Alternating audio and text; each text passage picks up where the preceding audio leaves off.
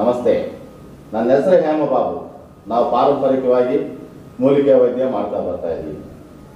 ಇವತ್ತು ವಿಷಯಕ್ಕೆ ಬಂದರೆ ಅನೇಕ ಜನರು ಮಂಡಿ ನೋವು, ಕೀಲು ನೋವು ಜಾಯಿಂಟಲ್ಲಿ ಗೊಜ್ಜಿಲ್ಲ, ಮಂಡಿ ಸೌದೋಗಿದೆ, ಮಂಡಿ ಕೆರ ಕೆರ ಅಂತ ಸೌಂಡ್ ಬರುತ್ತೆ ಅಂತ ಅನೇಕ ಜನ ಬಾಧ ಬೀಳ್ತಾ ಇದ್ದಾರೆ. ಬರಾಕು ಕಾರಣ ಏನಂತಂದ್ರೆ ಅನೇಕ ಕಾರಣಗಳಿವೆ. ಏನು ಕಾರಣಗಳಂದ್ರೆ ವಾತದೋಷಗಳಿಂದ ಬರುತ್ತೆ, ಮತ್ತೆ ಕ್ಯಾಲ್ಸಿಯಂ ಕಮ್ಮಿ ಆದರೆ ಬರುತ್ತೆ, ಮತ್ತೆ ಕೆಲವು ಆಹಾರ ಪದ್ಧತಿಗಳಿಂದ ಬರುತ್ತೆ, ಅನೇಕ ವಿಧವಾಗಿ ಬರೋದು ಬರುತ್ತೆ. ಬಂದಿದೆ, ಇದಕ್ಕೆ ಪರಿಹಾರ ಏನು ಇಲ್ವಾ ಅಂತಂದ್ರೆ ಅನೇಕ ವಿಧವಾದ ಪರಿಹಾರಗಳು ನಮ್ಮ ಪ್ರಕೃತಿಯಲ್ಲಿ ಇದ್ದಾವೆ. ನಿಮಗೆ ನಾನು ಖುದ್ದಾಗಿ ಯಾವ ಮೂಲಿಕೆಗಳು ತಗೊಂಡ್ರೆ ವಾಸಿ ಆಗುತ್ತೆ ಅಂತ ನಾನು ಪರಿಚಯ ಮಾಡಿಕೊಡ್ತೀನಿ. ನೀವು ಈ ವಿಡಿಯೋನ ಮೊದಲಿಂದ ಕೊನೆಯ ತನಕ ನೋಡಿ. ನಿಮಗೆ ನೀವಾಗಿ ಮಾಡ್ಕೊಳ್ಳೋದಕ್ಕೆ ನಾನು ಒಂದು ಪಂಚಮೂಲಿಕೆ ತೈಲ, ಪಂಚಮೂಲಿಕೆಗಳಿಂದ ನೀವು ಯಾವ ರೀತಿ ಮಾಡ್ಕೋಬೇಕು, ಆ ಸಮಸ್ಯೆ ಹೇಗೆ ಬಗೆಹರುತ್ತೆ ಅನ್ನೋದನ್ನು ನಾನು ಖುದ್ದಾಗಿ ನಿಮ್ಗೆ ತಿಳಿಸ್ಕೊಡ್ತೀನಿ.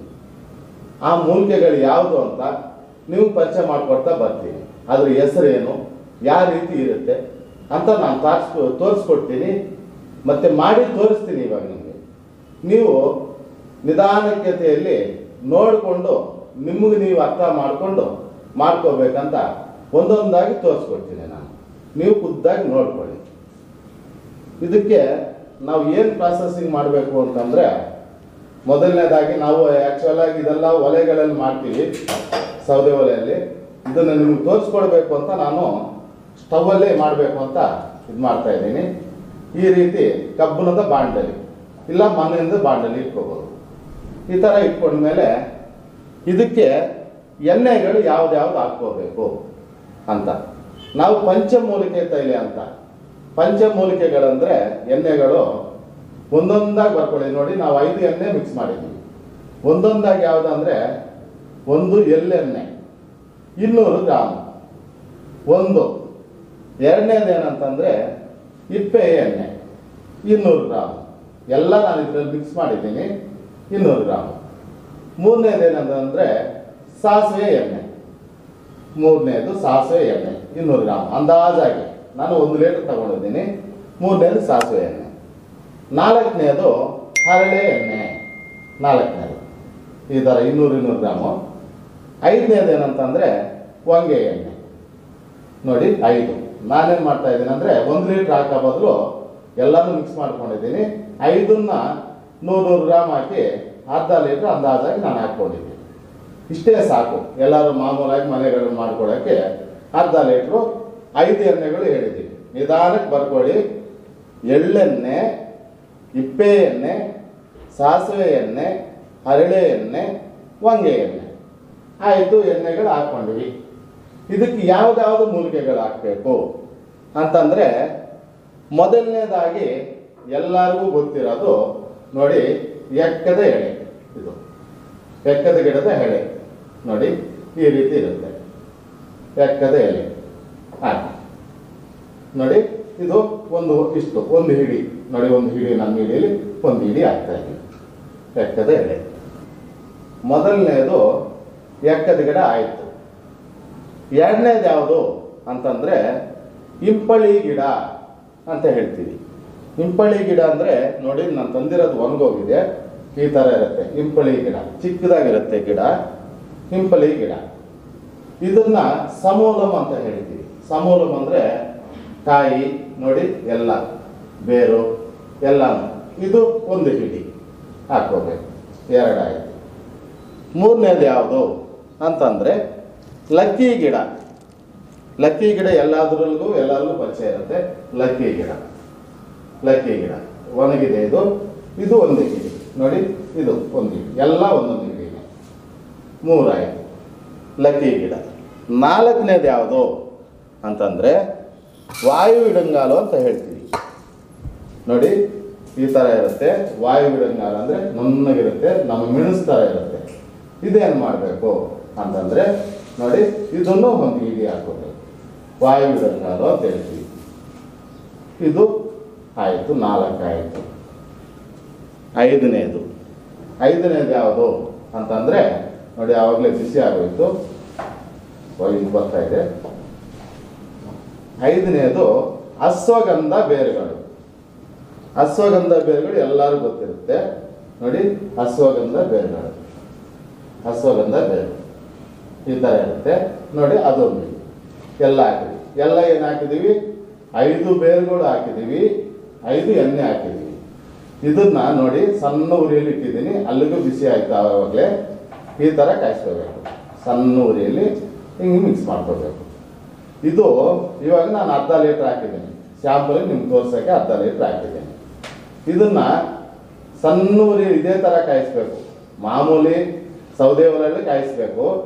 ಸೌದೆ ಒಲೆಯಲ್ಲಿ ನಿಮ್ಗೆ ತೋರ್ಸಕ್ ಆಗಲ್ಲ ವಿಡಿಯೋ ಮಾಡಕ್ ಆಗಲ್ಲ ಅಂತ ಹೇಳಿ, ನಾನು ನಿಮ್ಗೆ ಅರ್ಥ ಆಗಲಿ ಅಂತೇಳಿ ಎಲ್ಲ ಗಿಡಗಳನ್ನು, ಎಲ್ಲ ಆಯಿಲನ್ನು ಮಿಕ್ಸ್ ಮಾಡಿ ಈ ರೀತಿ ಮಾಡ್ತಾ ಇದ್ದೀನಿ.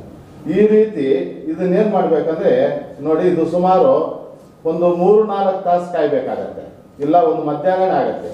ಹಿಂಗೆ ಆವಾಗ ಇದೇ ಥರ ಸಣ್ಣ ಊರಿಯಲ್ಲಿ ಸ್ಲಿಮ್ಮಲ್ಲೇ ಇಡಬೇಕು ಈ ಥರ ಹಂಗೆ ಒಂದು ಕಟ್ಟಿಗೆನೋ ಇಲ್ಲ, ಚೌಟ ತಗೊಂಡು ಈ ಥರ ಮಿಕ್ಸ್ ಮಾಡ್ತಾ ಇರಬೇಕು. ಹಿಂಗೆ ಮಿಕ್ಸ್ ಮಾಡ್ತಾ ಇರೋವಾಗ ಏನಾಗುತ್ತೆ ಅಂದರೆ ನೋಡಿ ಈ ಬೆಲ್ಲಗಿರೋದು ಎಲೆದಲ್ಲ ಎಲೆಗಳೆಲ್ಲ ಬಾಡೋಗ್ಬೇಕು ಇದೆಲ್ಲ ಫುಲ್ಲು ಕಪ್ಪು ಬರಬೇಕು. ಇದು ನೋಡಿ, ಇವಾಗ ಹಸಿರಾಗಿದೆ ಎಲೆ. ಇದೆಲ್ಲ ಫುಲ್ಲು ಬಾಡೋಗ್ಬೇಕು ಇದು ನೀಟಾಗಿ ಈ ಥರ ಸಣ್ಣ ಊರಿಲಿ ಹಿಂಗೆ ಕಾಯಿಸ್ಕೊಂತ ಇರಬೇಕು. ಹಿಂಗೆ ಕಾಯಿಸ್ಕೊಂತ ಇದ್ಬಿಟ್ಟು ಇದನ್ನ ನಿಧಾನಕ್ಕೆ ಮೂರು ನಾಲ್ಕು ತಾಸು ಈ ಥರ ಸಣ್ಣ ಊರಿಲೇ ಇಡಬೇಕು. ನೋಡಿ ಜೋರಾಗಿಟ್ರೆ ಹಿಂಗೆ ನೋಡಿ ಹಿಂಗೆ ಸೀದೋಗುತ್ತೆ. ಇಮಿಡಿಯೇಟ್ ಉಗ್ತಾ ಇದೆ ನೋಡಿ ಜೋರಾಗಿಟ್ರೆ ಈ ಥರ ನೋಡ್ಕೊಳ್ಳಿ ನೀವೇನೆ. ಅದಕ್ಕೆ ನೀವು ಎಲ್ಲರೂ ಮಾಡ್ಕೊಳ್ಳಿ. ನಮ್ಮ ಜನಕ್ಕೆ ಎಲ್ಲರಿಗೂ ಒಳ್ಳೇದಾಗಲಿ. ನೋಡಿ ಹೆಂಗೆ ನೋಡಿ, ಸ್ವಲ್ಪ ಬಿಸಿ ಮಾಡಿ ಜಾಸ್ತಿ ಆಯಿತು ಅಂದ್ರೆ ಈ ಥರ ನೊರೆ ಬರುತ್ತೆ. ಇದಕ್ಕೆ ಹಿಂಗೆ ನೋಡಿ, ಈ ಥರ ಬರಬೇಕು. ಈ ಥರ ನಾವು ಅವಾಗ ಹಿಂಗೆ ಇದನ್ನು ಕಳಿಸ್ತಾ ಇರಬೇಕು. ಅದು ಕೆಳಗಿನ ಮೇಲಕ್ಕೆ, ಮೇಲಿಂದ ಕೆಳಕ್ಕೆ ಈ ಥರ ನೋಡಿ ನೊರೆ ಬರುತ್ತೆ. ಅರ್ಧ ಲೀಟ್ರ್ ಮಾತ್ರ ಹಾಕಿದ್ದೀನಿ ನಾನು. ಐದು ಎಣ್ಣೆಗಳನ್ನ ಒಂದೊಂದು ನೂರು ಗ್ರಾಮ್ ಆಗಿ ಅರ್ಧ ಲೀಟ್ರ್ ಹಾಕಿದ್ದೀನಿ. ನೋಡಿ, ಈ ಥರ ನೊರೆ ಬರುತ್ತೆ. ಈ ಥರ ಬಂದಮೇಲೆ ಇದನ್ನ ಹಿಂಗೆ ಕಾಯಬೇಕು. ಮಿಕ್ಸ್ ಮಾಡ್ತಾ ಇರಬೇಕು. ಮಿಕ್ಸ್ ಮಾಡ್ತಾ ಇದ್ರೆ ಎಲ್ಲ ಇದು ಪೂರ್ತಿ ಸೀದೋಗಿದ ಮೇಲೆ ಸರಿ ಹೋಗುತ್ತೆ. ಈ ಥರ ಸಣ್ಣ ಉರಿಯಲ್ಲಿ ಕಾಯಿಸ್ಕೊಂಡು ಈ ಎಣ್ಣೆನ ದಿನನಿತ್ಯ ಬೆಳಗ್ಗೆ ಮತ್ತೆ ಸಂಜೆ ಎರಡೊತ್ತು ಎಷ್ಟೇ ವರ್ಷಗಳಿಂದ ನೋವಿರಲಿ, ಅಲೆ ನೋವಿರಲಿ, ವಾತದೋಷಗಳ ನೋವಿರಲಿ ಮತ್ತೆ ಕ್ಯಾಲ್ಸಿಯಂ ಕಮ್ಮಿ ಆಗಿರೋದಕ್ಕಿಂತ ಬಂದಿರೋ ನೋವಾಗಲಿ ಗುಜ್ಜು ಕಮ್ಮಿ ಇದೆ ಜೆಲ್ ಕಮ್ಮಿ ಇದೆ ಅಂತ ನೋವು ಬರ್ತಾ ಇದೆ ಅಂತ ಅನೇಕ ಜನ ಹೇಳ್ತಾ ಇರ್ತಾರೆ. ಇದು ವಯಸ್ಸಾಗಿರೋರ್ಗೂ ಬರ್ತಾ ಇದೆ, ವಯಸ್ಸಲ್ಲಿರೋರ್ಗೂ ಬರ್ತಾ ಇದೆ. ಇಂಥ ಸಮಸ್ಯೆಗಳಿಗೆಲ್ಲ ಪ್ರತಿಯೊಬ್ಬರು ಬೆಳಗ್ಗೆ ಸಂಜೆ ಎರಡೊತ್ತು ಇದನ್ನ ನಿಧಾನಗತಿಯಲ್ಲಿ ಮಸಾಜ್ ಮಾಡ್ಕೋಬೇಕು. ಒತ್ತಡ ಕೊಡಬಾರ್ದು, ಮಸಾಜ್ ಮಾಡ್ಕೋಬೇಕು. ಈ ರೀತಿ ಮಾಡ್ಕೊತಾ ಬಂದ್ರೆ ನಿಮ್ಗೆ ಎಷ್ಟೇ ವರ್ಷಗಳ ಸಮಸ್ಯೆ ಇದ್ರೂ ಇದರಲ್ಲಿ ಪರಿಹಾರ ಆಗುತ್ತೆ. ಈ ತರ ಮಾಡಿಕೊಂಡು ಎಲ್ಲರೂ ಉಪಯೋಗ ಮಾಡ್ಕೊಬೇಕು ಅಂತ ನಾನು ತಿಳಿಸ್ಕೊಟ್ಟಿದ್ದೀನಿ. ಸ್ವಾಮಿ, ನೀವು ತೋರಿಸಿದ್ರಿ ಸ್ವಾಮಿ, ಒಳ್ಳೇದಾಯ್ತು. ನಾವು ಸಿಟಿಯಲ್ಲಿ ಇದೀವಿ ಇದೆಲ್ಲ ಎಲ್ಲಿ ಮಾಡ್ಕೊಳ್ಳೋಣ? ನಾವು ಎಲ್ಲಿ ಸಿಗುತ್ತೆ ನಮಗೆ?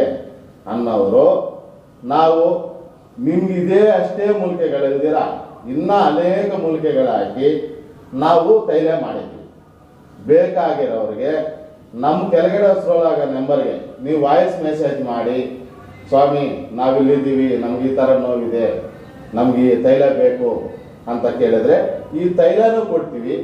ಇದಕ್ಕೆ ಮುಖ್ಯವಾಗಿ ಅನೇಕ ರೀತಿ ವಾತದೋಷಗಳಿಗೆ ನಾವು ಮತ್ತೆ ಚೂರ್ಣನೂ ಮಾಡಿದ್ದೀವಿ. ನಿಮ್ಗೆ ಇನ್ನೊಂದು ವಿಡಿಯೋದಲ್ಲಿ ಚೂರ್ಣನೂ ಮಾಡಿ ತೋರಿಸ್ತೀವಿ ನಿಮ್ಗೆ ನೀವಾಗಿ ಮಾಡ್ಕೊಳ್ಳೋದಕ್ಕೆ. ಒಂದೇ ವಿಡಿಯೋದಲ್ಲಿ ಟೈಮ್ ಜಾಸ್ತಿ ಆಗೋದ್ರಿಂದ ಇದನ್ನು ಮಾಡೋಕ್ಕಾಗಲ್ಲ. ನೆಕ್ಸ್ಟ್ ಮುಂದಿನ ಸಂಚಿಕೆಯಲ್ಲಿ ನಿಮಗೆ ಯಾವ ರೀತಿ ಚೂರ್ಣ ಮಾಡ್ಕೊಬೇಕು ಅನ್ನೋದನ್ನು ನಾನು ಮಾಡಿ ತೋರಿಸ್ತೀನಿ.